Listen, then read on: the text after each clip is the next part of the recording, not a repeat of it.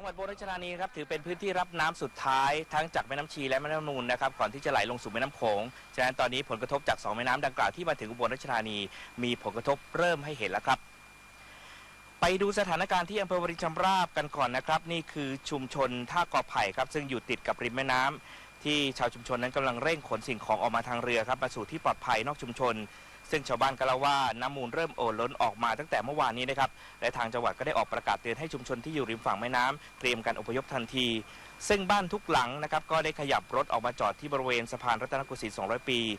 ที่มีพื้นที่สูงกว่านะครับแล้วก็ขนย้ายทรัพย์สินบางส่วนออกมาแล้ว แต่ระดับน้ำก็สูงขึ้นอย่างรวดเร็วครับ เช้าวันนี้ชาวบ้านติดขึ้นมาภายในบ้านของตัวเองก็พบว่าน้ำท่วมอยู่ในระดับประมาณ 50-80เซนติเมตรแล้วนะครับหรือประมาณสะโพกเอวแล้ว ซึ่งก็ถือว่ารวดเร็วพอสมควรครับ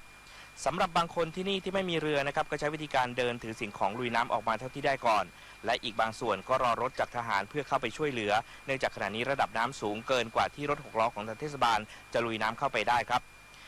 โดยทางเทศบาลเมืองบริชัมราบนะครับได้เตรียมจุดสำหรับดูแลผู้อพยพสร้างที่พักชั่วคราวอยู่บริเวณหลังสำนักงานสากลจังหวัด ซึ่งเป็นจุดดูแลผู้อพยพชั่วคราวทุก ๆ ปีนะครับซึ่งน้ำที่ท่วมในพื้นที่สาเหตุเกิดจากน้ำมูลที่รับน้ำมาจากน้ำชีนะครับที่ไหลมาจากอีสานตอนล่าง และตอนกลางมารวมกัน และไหลไม่ทันครับกลายเป็นเอ่อท่วมสองฝั่งแม่น้ำซึ่งเกิดขึ้นทุกปีครับน้อยมากอ่าน้อยบ้างมากบ้างนะครับ แต่ปีนี้มีน้ำท่วมทางอำนาจเจริญยโสธรร้อยเอ็ดซึ่งน้ำทางนู้นทั้งหมดก็จะต้องลงมาที่นี่ในที่สุด นั่นก็คือสถานการณ์ที่จะต้องติดตามนะครับ ในส่วนจุดที่ทีมข่าวมารายงานอยู่ในขณะนี้ก็คือในเขตเทศบาลตำบลบ้านด่านโขงเจียมอำเภอโขงเจียมนะครับซึ่งถูกน้ำท่วมเช่นเดียวกัน โดยมีเหตุมาจากน้ำโขงมีระดับสูงขึ้น และน้ำมูลที่ไหลลงมาจะออกสู่แม่น้ำโขงนะครับไหลลงไม่ได้ครับเพราะระดับน้ำโขงนั้นผลักดันไว้ จึงกลายเป็นแม่น้ำทั้งสองเนี่ยเอ่อท่วมในพื้นที่ลาดต่ำภายในเขตเทศบาลตำบลบ้านด่านโขงเจียม ตอนนี้มีหมู่บ้านที่ได้รับผลกระทบจำนวน 4 หมู่บ้านแล้วนะครับ แล้วก็มีอีกหนึ่งหมู่บ้านถูกน้ำตัดขาดทางเข้าออก ซึ่งตอนนี้ทางอำเภอนะครับก็ได้ระดมกันไปช่วยเหลือกันในการที่จะนำคนมาสู่ที่ปลอดภัยรวมถึง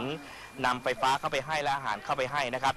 ซึ่งนอกจากชาวบ้านจะขนข้าวของออกมาเองแล้วนะครับ ก็ยังมีกำลังทหารนะครับที่เห็นอยู่นี่ก็คือชุด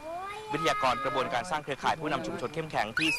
2202อำเภอสินธรครับจำนวน 5 นาย ซึ่งมาช่วยชาวบ้านในการขนย้ายสิ่งของด้วยครับ ดูแล